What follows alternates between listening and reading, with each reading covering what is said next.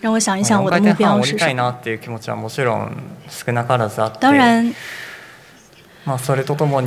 我还是想要做四 A。那同时，我也还是想要让我的节目越来越完美。但正如我刚刚所说的，我有一种这样的感受，我觉得可能我已经完美的完成了我的四 A 了，可能某种程度上已经完美完成了。